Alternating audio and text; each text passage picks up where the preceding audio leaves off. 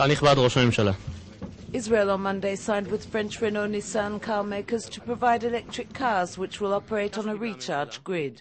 The initiative is the brainchild of entrepreneur Shai Agassi, who raised $200 million to get the project off the ground.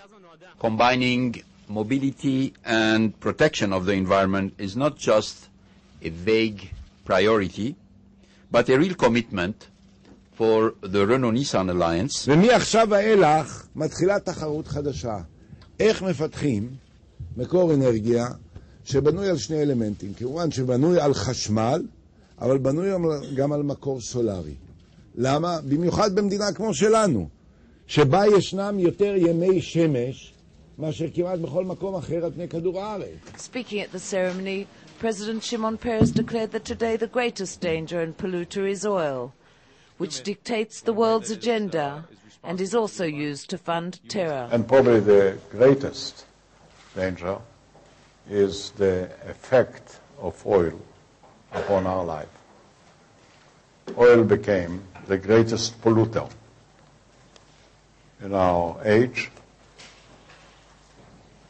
Oil is also, in many ways, the greatest financier of terror. The electric cars network is expected to be in operation by 2011, with half a million recharging stations dotted throughout the country. in the center.